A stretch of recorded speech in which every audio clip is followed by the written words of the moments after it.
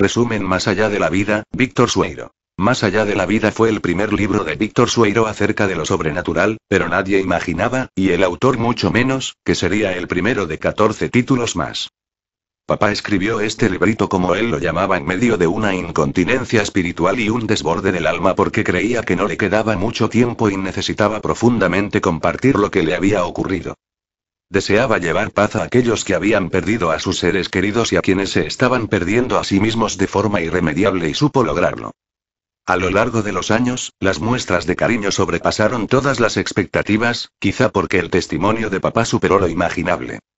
Luego de una impecable carrera periodística y con una credibilidad intachable puso en juego su vida para explicar su muerte. Inventó un nuevo periodismo del que aún no pudo ser desbancado y que se extraña, como mucha gente nos lo hizo saber a mi mamá Rosita y a mí desde que él partió definitivamente qué ocurre después de la muerte. En sus palabras está la respuesta.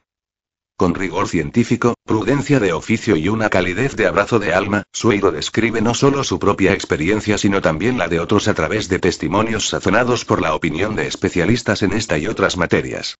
Rocío Sueiro.